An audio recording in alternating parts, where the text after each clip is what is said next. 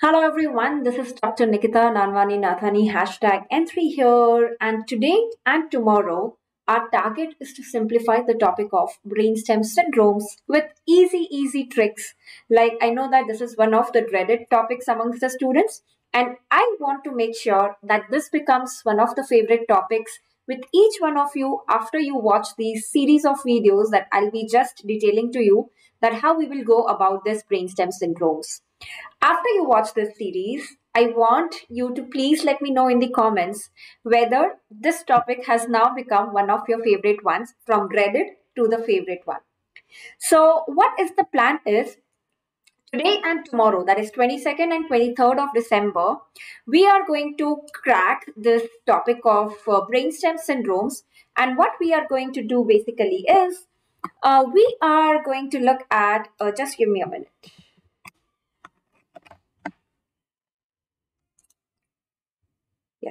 it's working now. So what we are going to do is uh, we have this five series of uh, videos that we are going to have. Part one will be the must know mnemonics which is this uh, video basically where i'll be discussing the must know mnemonics that we should be knowing to understand the brainstem syndromes then part two will be, then we'll go to the brainstem from midbrain, pons and medulla. So part two midbrain, part three pons and part four medullary syndromes, the medial, the lateral. In midbrain, we'll see the mnemonics for Weber's, Benedict's, Nothnagel, all of that in pontine. We'll see the Millard-Gubler, Raymond syndrome, Foville syndrome, the mnemonics for each one of them. I know that these names now sound scary, but as I said, be assured all of you will master this topic after this series of videos.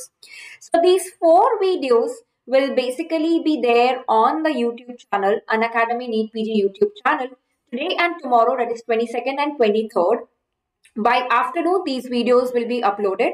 And then to make sure, like I always say, whatever topic you read, uh, solve the MCQs, practice the MCQs so that it gives you confidence that you have mastered this topic.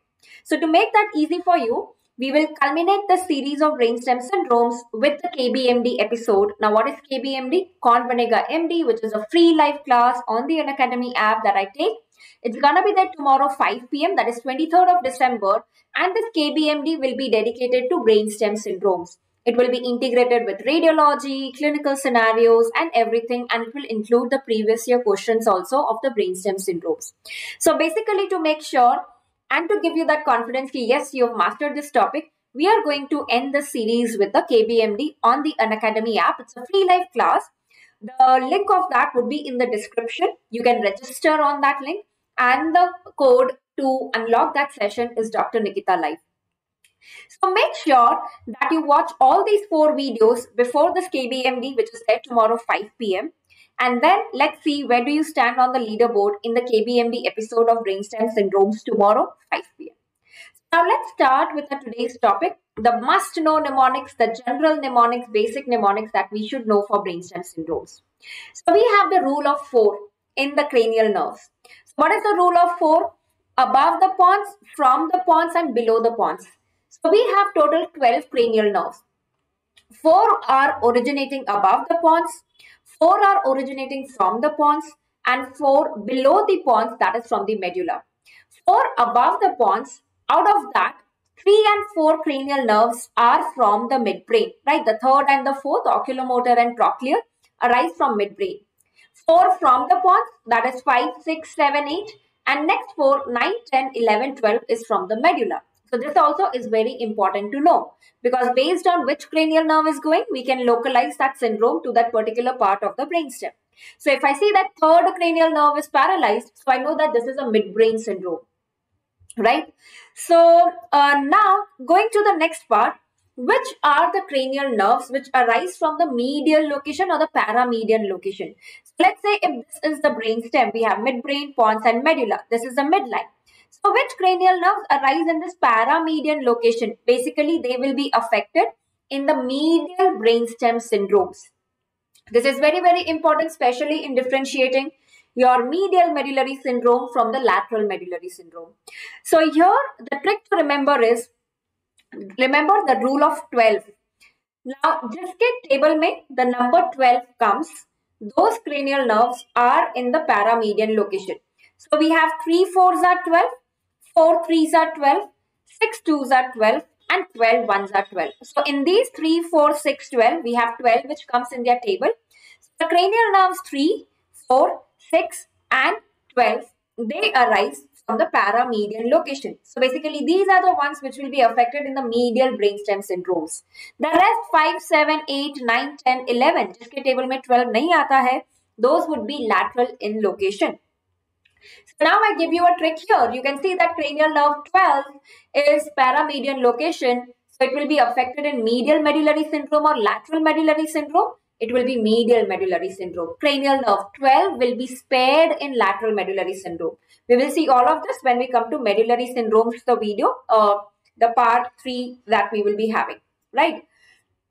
Part 3, part 4.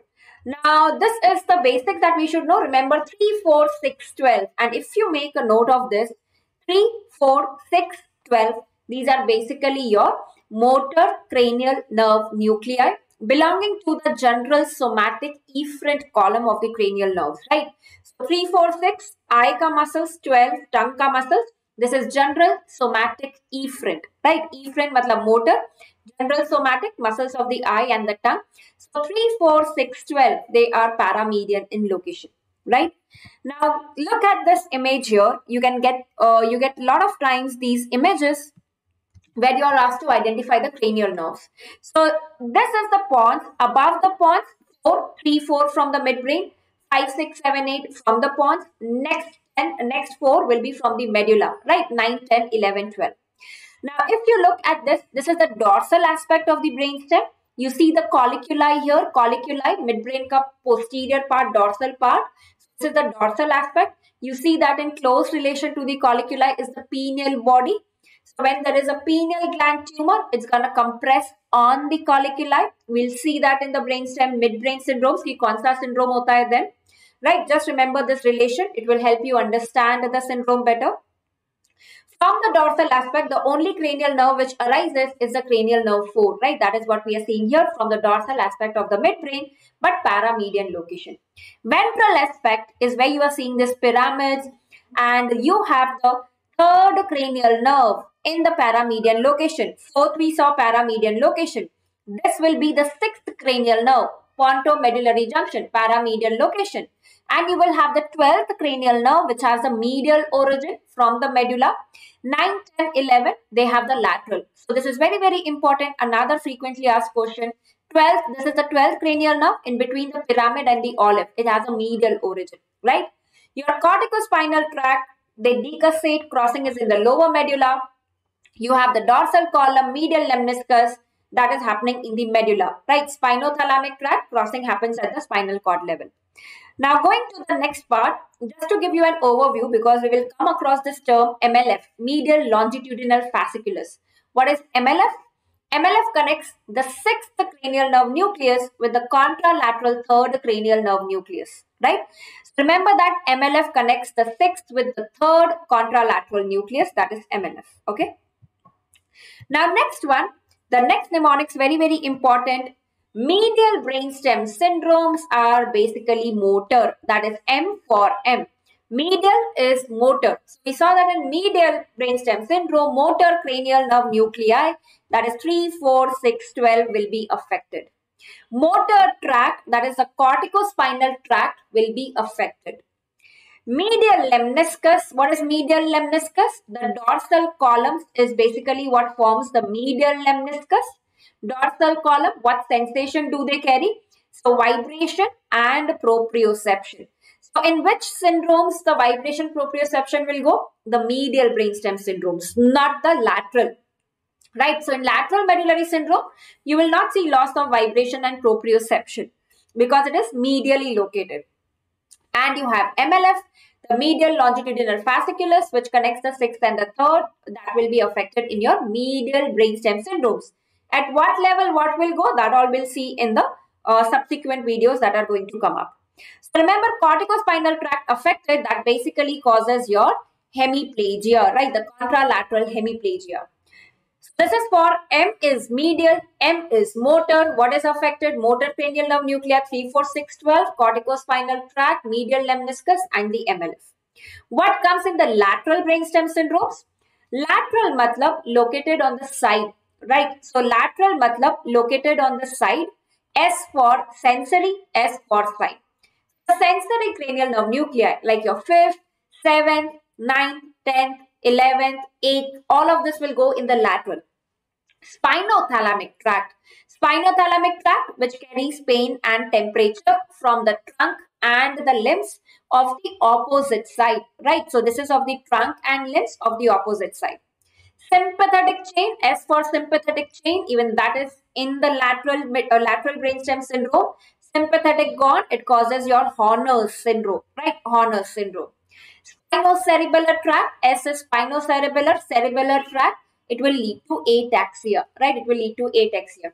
Remember S for sight, S for sensory, so spinothalamic tract, sympathetic chain, spinocerebellar tract, sensory cranial nerve nuclei, these will be affected in the lateral brainstem syndromes.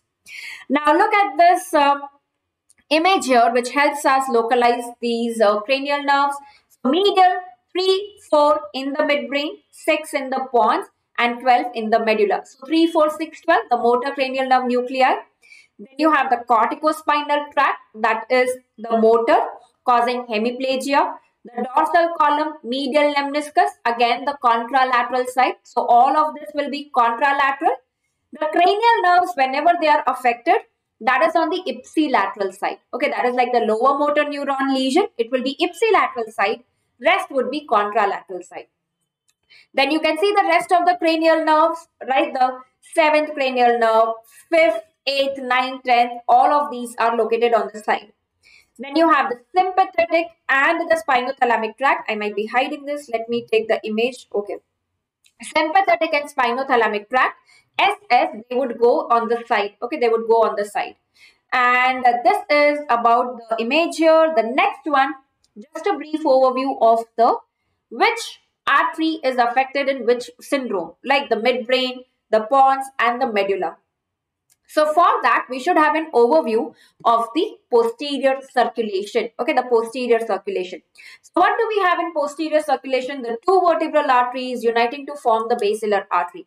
So we have the two vertebrals uniting to form the basilar. Terminal branch of basilar is the posterior cerebral artery. So as we go from below up, medulla, pons and midbrain. These are the arteries affected. So in the medullary syndrome, we have vertebral artery branches. You can see this anterior spinal artery coming medially. So this is medial medullary syndrome is anterior spinal artery. Then we have PICA. PICA comes from vertebral laterally. That is lateral medullary syndrome. So medial medullary ASA, lateral medullary PICA. Then comes the pons. Pons is the basilar artery and its lower wala branch, basilar and its lower branch which is the AICA. So medial pontine would be basically basilar and lateral pontine, the lateral branch going that is AICA would be lateral pontine. And then above is the terminal branch of basilar that is the PCA here which will cause the midbrain syndromes be it medial or lateral. So look at this image here. What do we see here? Just a reinforcement of what we learned. So in the medullary syndrome, the medial one, it is the anterior spinal artery. The lateral one is the PICA right? So the vertebral ka branch, ASA and the PICA.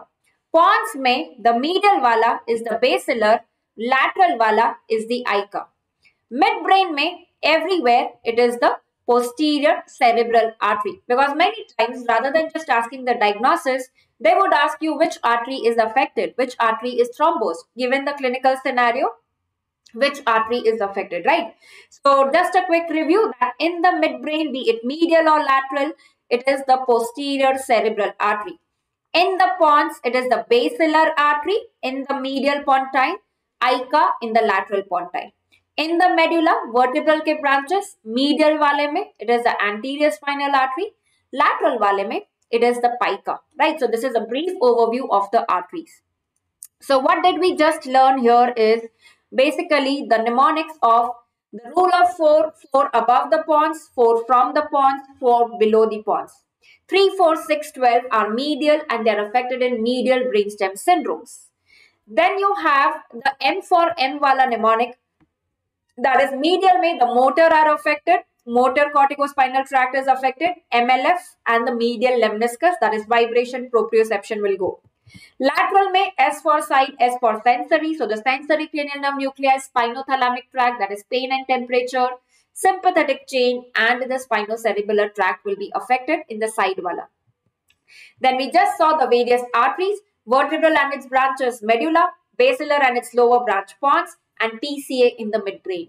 So that was for this part one of the brainstem syndromes where we just discussed the must know mnemonics that will simplify the further videos, okay, the understanding of the further syndromes. In the part two, we'll see midbrain syndromes, which will be coming up very soon today. And then we'll have the pontine syndromes, then the medullary syndromes, and then finally the KBMD episode on 23rd, that is at 5 p.m. of free life class. Do let me know in the comments how did you find this video and uh, I am looking forward to your comments and feedback for more topics and the difficult topics that you want me to simplify for you. Thank you so much for watching this one. I'll see you in the next one. Till then, goodbye, take care, and keep studying, keep revising, and keep winning. Thank you so much.